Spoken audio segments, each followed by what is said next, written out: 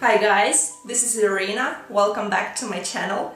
Today is a wonderful day as we're gonna learn the last case of the nouns that is called the prepositional case or предложный падеж. It responds to the questions who about and what about and sometimes where. Let's look at the following slide. Предложный падеж responds to the questions what about, о чем, who about, о ком, where, где.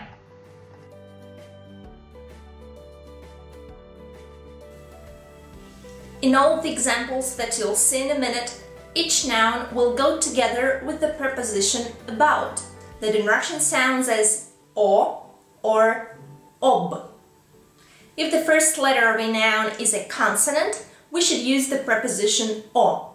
And on the contrary, if the first letter of a noun is a vowel, the preposition will be ob. Okay? The prepositional case is easy. We'll see only four different endings. First, let's look at the noun endings in singular form and then at some examples. Girlfriend. Подруга о подруге. Error. Ошибка об ошибке. Uncle. Дядя о дяде. Sun.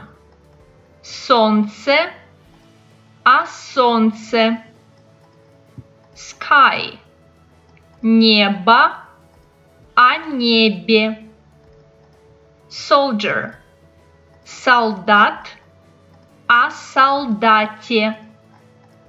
Daughter – дочь о дочери. Horse – лошадь о лошади. Please note that the preposition o Is always pronounced as a because it's not a stressed vowel.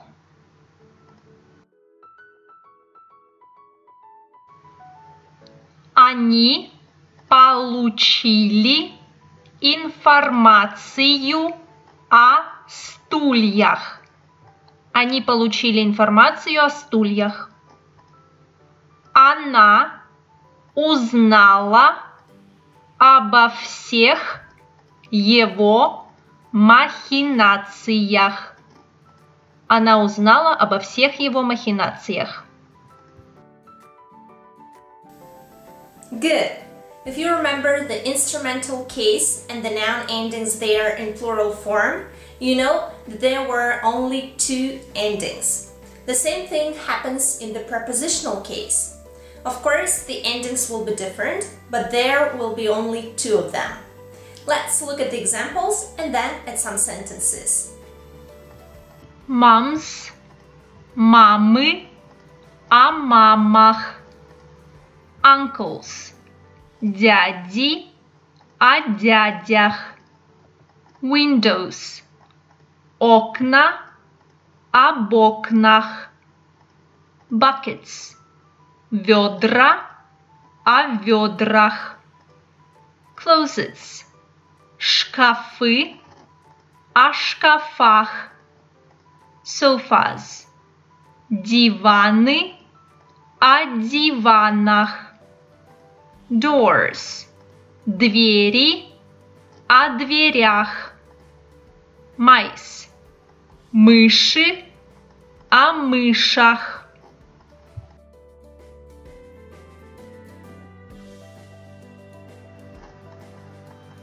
Мы говорили с ним об автомобилях. Мы говорили с ним об автомобилях.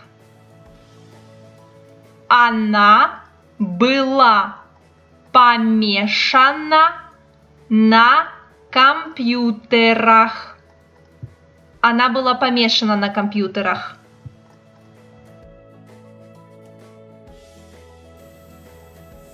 Excellent!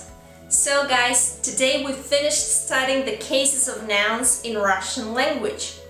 You know, it's quite a difficult topic to learn even for the native speakers. And I'm sure that when you only start learning Russian language, you may have a lot of questions. But here I am, and you can ask me whatever you want in the comment section below this video.